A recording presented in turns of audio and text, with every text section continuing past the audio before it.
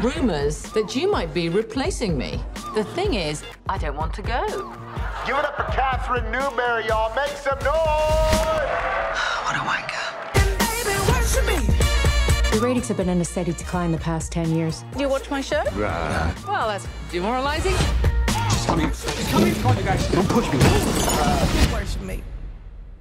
I don't know who any of you are. I'm Tom. I uh, I write the monologue. No, no, no, I just I don't care. Where's John? Uh, John died in 2012. John's dead? Are you kidding me?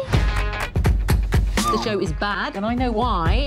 We need to hire a woman. But you hate women. I don't hate women. Okay, then find me one worth keeping. I've spread my dreams under your feet. Tread softly because you tread on my dreams. Would a gay guy work?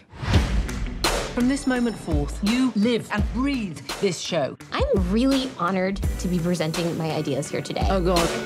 Why can't I express my admiration for you? Successful people hate their own admirers. That's horrible. How do you have any friends? I don't think I have any. But it won't. I've invested my entire life to this show. I won't lose it now. They can't replace you if everyone loves you. This is my last hurrah.